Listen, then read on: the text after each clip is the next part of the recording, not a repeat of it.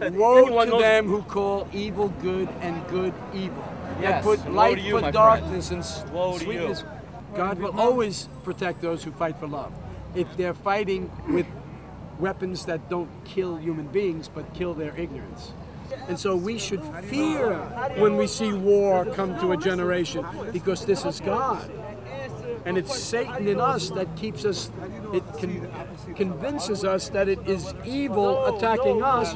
But because we haven't overcome the evil within ourselves, we project our own delusions out into the world and we fail to see that it is God attacking us. Well, thank you, Sean, and uh, and thank the American people across the board, the American government, uh, Congress, the Senate, uh, the President. Everybody uh, has been very, very strong for Israel because they understand that our fight is your fight, and our victory is your victory, and there is no substitute for victory. We have to have the forces of civilization beat these barbarians, because otherwise, this barbarism will spread and will endanger the entire world. Every American, uh, every civilized country would be under peril. We have to win. There is no substitute for victory. Total victory. We must be nonviolent. We must walk as Christ taught us to walk. He's the Lamb of God. When they came to give Jesus trouble, did he fight back? No. He just fell down as a lamb.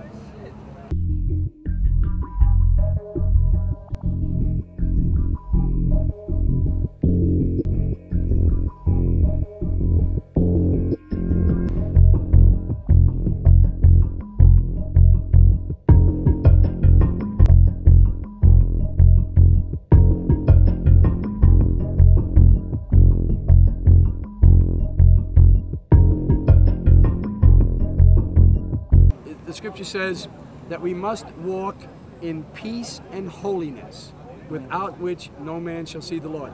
Mohandas Gandhi said the only devils that are running around in the earth are the devils that are inhabiting our own psyches.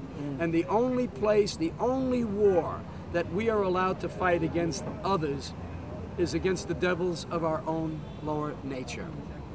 And because they have, they're, they're not fighting against the devils of their own lower nature, they think everything out here is devils. And that's why they're going out to fight what they perceive the devil, and they don't realize that God is fighting against them because they're the devils. Okay, now, here is the law. I am commanding you in the written law that when you go into the land that God has promised to Abraham, Isaac, and Jacob, I want you to kill everybody you see there. Right? That's what the law says. The Torah says it. I want you to kill every man you meet. I want you to kill every woman you meet. I want you to destroy every child you meet. And I want you to kill all the livestock. Well, that's what Moses' law says. The land that is promised to each and every child of God is not real estate at all. No, it's, It's the body. This is the land. You see, we're entering. That's exactly right. This is the mis- This is the promise right here. So as the soul enters into the empire of its own soul, you must go in there and destroy every enemy you meet. And who is your enemy? Yourself. You are your, your ignorance is your enemy. The, the dark nature in your own soul is your enemy. Now, those Zionists who read the Bible literally, and those Muslims who read the Quran literally, whi- which is based upon the criteria of the law and the prophets, are taking the literal exposition of the law and using it as justification for killing each interests. other. Because they see in each other the infidel, they don't see the infidel in themselves. Moses says, Now look, every man you meet, I want you to kill. Then he says, But here's the meaning the man in every one of us is that propensity, that inclination I have within my own natural self to sow the seed of error into the consciousness of another person. That is metaphorically the man that Moses wants me to destroy. And then he says, I want you to go into yourself and I want you to kill every woman that you meet there. And a woman metaphorically is every inclination I have within myself to open myself up to receive the seed of wrong instruction. I must destroy that out of myself because in the interaction of wrong reception and wrong sowing, I develop wrong thoughts, which are the children that are born out of the relationship from wrong associations. So Moses said, kill that. Now, if anybody reads the scriptures literally and believes that Moses wants us to kill children, then yikes. Who, who's going to serve that religion?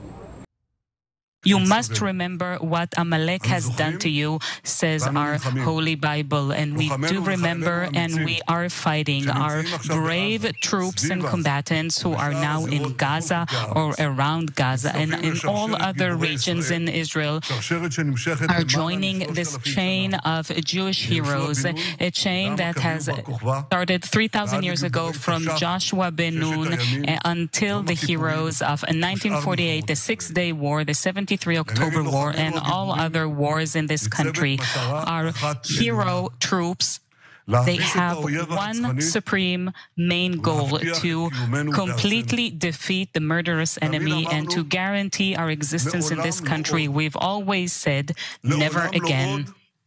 Never again is now. When Moses commands us to make war, that is all allegory. We're not to take it literally. Because Moses tells us we're to kill our enemies, and our enemies is ourselves. That's the only person we're allowed to kill is ourselves. There's there's an evil within each, each one of us. Exactly. Each And one of That's us. what we must And we have to come into terms with that. If if we don't, we can't really. If we don't, we'll wind up following them Yes. and going out and killing what we perceive to be evil in others, which is really God. אנחנו מטילים מצור מוחלט על העיר עזה. אין חשמל, אין מזון, אין מים, אין דלק. הכל סגור. אנחנו נלחמים בחיות אדם ואנחנו נוהגים בהתאם. that God might manifest them, that they may see that they themselves are beasts. and so, unless we are not serving our higher state of consciousness, unless we are not what the scripture says, born anew, then we're still serving our lower nature, which is of the nature of a beast. Because you know what beasts do? Beasts kill. They they are killed. They they uh, live according to the law of the jungle, competition, survival. That's what the capitalist order does. It's, see, it's a beastly order. Everyone in our time will decide whether they serve this doctrine of vengeance and violence or the doctrine of Christ, which commands us to follow peace and holiness with all men in all circumstances, without which no man shall see the Lord. Because I, we all had to see evil for what it is, and I had to see evil in myself. If I didn't, if I didn't uh, come to grips with the darkness, the lust, the greeds, the, the uh, all of the, the terrible things about myself, I could never come to my own state of perfection. And we as a people could never come to our state of perfection if we did not see Babylon, if we didn't see what evil could do, how perfect and beautiful and enticing it is. Evil is a very enticing thing. It's very glorious. That's why Lucifer is called the light bearer. It, the, the light of evil is very attractive. Well, there is a new age being born, but these men are trying to create the world in their image. God is creating a world in their image, and we have to decide whose world we we want to live in. Which side we go? The one that is being destroyed or the one that is coming.